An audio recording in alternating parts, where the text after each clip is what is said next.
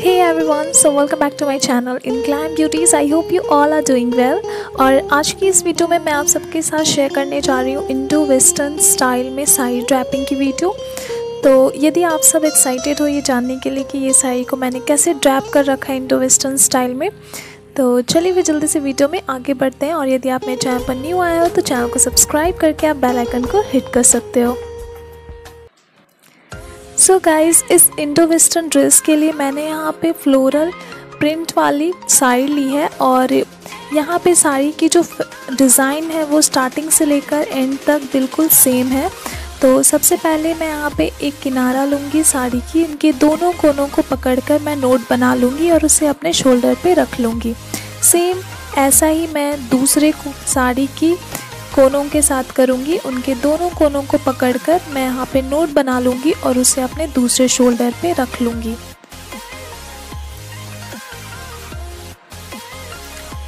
तो साड़ी को इस तरीके से रखने के बाद इनका जो रेस्ट ऑफ़ फैब्रिक होगा, वो पीछे की साइड हमारा चला जाएगा। तो पीछे की साइड में बचे हुए फैब्रिक को हमें पकड़ना है और प्लेट्स बनानी है। तो प्लेट्स यहाँ पे आपको बिल्कुल नॉर्मल साइज़ में ही बनानी है। और चौड़ी पट्टी वाली यदि आप बनाओगे तो इसमें उस तरीके का वाटरफॉल टाइप का जो प्लीट्स होंगे, वो अच्छे से नहीं आ पाएँगे। तो इसलिए आपको बिल्कुल मीडियम साइज़ में नॉर्मल वाली प्लीट्स बनानी है। और जब ये प्लीट्स बन जाए तो उसके बाद आपको इन्हें सेफ्टी पिन की हेल्प से सिक्योर कर लेना है। तो कुछ इस तरीके से इन्हें सिक्योर मैं कर लूँगी और उसके बाद आपको प्लीट्स को अच्छे से अरेंज करके बैक साइड में अपने आप को टक कर लेना है। कुछ इस तरीके से ये आपको यहाँ पे टक कर लेनी है। और जब ये टकिंग हो जाए, उसके बाद आपको क्या करना है कि बिल्कुल आपके आपने जो प्लीट्स बनाई थी, उसके मीट उसके बिल्कुल मिडल वाले पार्ट को आपको लेना है। और मिडल पार्ट को मेज़र करने के लिए मैंने जैसा किया है, आप भी वैसा कर सकते हो। और उसके बाद आपको इन्हें अपने फ्रंट में आप जो भी वेयर करते हो, चाहे डेनिम वेयर करते हो या लेगिंग्स वेयर करते हो, आप अपने लेगिंग्स में टक कर सकते हो।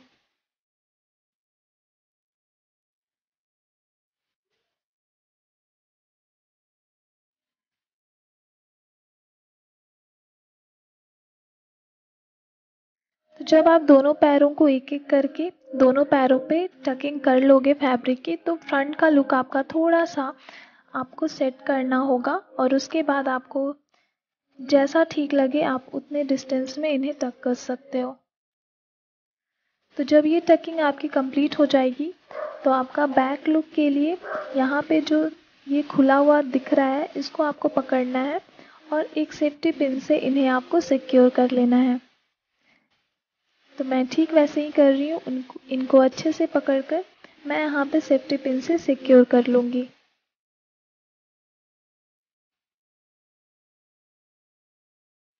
तो ये लुक कुछ इस टाइप का आएगा आपका बैक से। फ्रंट में ये जो खुला पार्ट है, इसे भी हमें पकड़ना है और एक सेफ्टी पिन की हेल्प से इन्हें सिक्योर कर लेना है। मैं अभी आपको नज़दीक से भी दिखाऊँगी कि आप कैसे सेफ्टी पिन यूज़ कर सकते हो। तो इनके दोनों जो बॉर्डर वाली लाइन है इनको पकड़कर अंदर की तरफ़ करते हुए मैं यहाँ पे सेफ्टी पिन यूज़ कर लूँगी।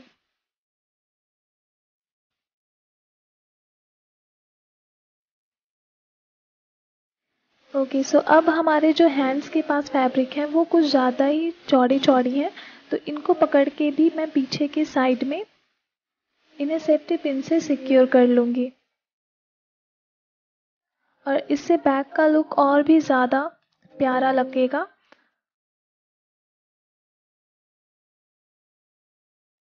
तो जब ये सेफ्टी पिन से सिक्योर हो जाए, फिर लास्टली आप अपने डेनिम में जो बेल्ट यूज़ करते हो, वो बेल्ट आप इस ड्रेस में यूज़ कर सकते हो। एंड ये रहा हमारा ड्रेस का फाइनल लुक तो इसका जो लोअर लुक है, वो बहुत ही ज़्यादा प्यारा आया है। आप देख सकते हो धोती स्टाइल में ये है। तो यदि वीडियो आप सबको पसंद आई है तो आप वीडियो को लाइक कर सकते हो और चैनल पर यदि आप न्यू आए हो तो चैनल को सब्सक्राइब करके आप बेल आइकन को हिट कर सकते हो। तो अब मैं आप सबसे मिलती हूँ अपनी अगली नेक्स्ट वीडियो में। So till then take care and bye bye